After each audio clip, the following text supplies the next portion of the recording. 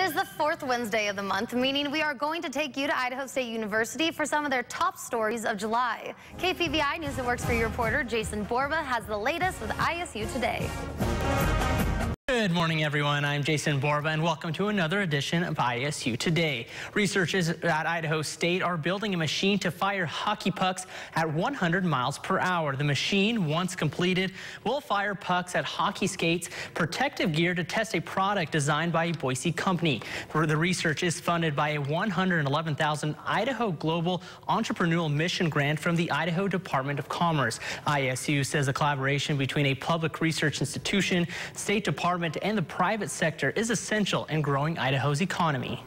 Being able to help people prove, you know, yeah, prove that this is gonna gonna be a piece of safety equipment that could really, really change the way that people play the game.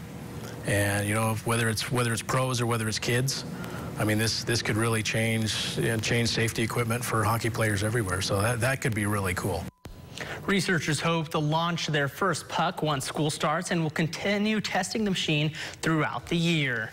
And a building on campus now has a new name. The William M. and Karen A. Eames Advanced Technical Education and Innovations Complex is the new name for the ISU facility formerly known as RISE. The newly named facility will serve as a state-of-the-art technology and research complex focused on expanding the College of Technology's programs and provide space for related research. In February, ISU announced plans to relocate a number of College of Technology programs into the facility to meet a growing enrollment.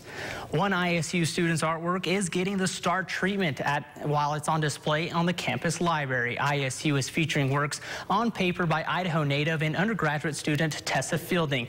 The display includes the media of printmaking, including solar plate, etching, silkscreen, and dry point. It also includes watercolor and ink. The public is encouraged to view the art from now until September at the ISU library. And ready or not, football season is almost here. The Idaho State Bengals kick off their season in 35 days at home against Western Oregon. ISU is coming off their second consecutive losing season where they finished 2-9 in last place in the Big Sky Conference. There isn't much confidence that ISU will do much better this season as they were picked to finish last by the coaches and the media in the preseason poll. Idaho State players were also left off the preseason all-conference team. That will wrap it up for this month's ISU Today. I hope everyone has a wonderful rest of their day. And coming up on KPVI News Today, we take a look at your KPVI News Today headlines.